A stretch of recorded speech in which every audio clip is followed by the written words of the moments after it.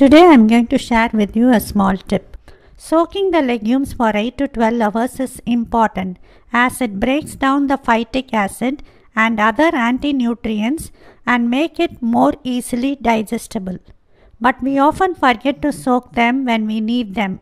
So I usually soak more than the needed quantity of legumes and freeze it.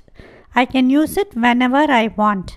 These will last in the freezer for 3 months.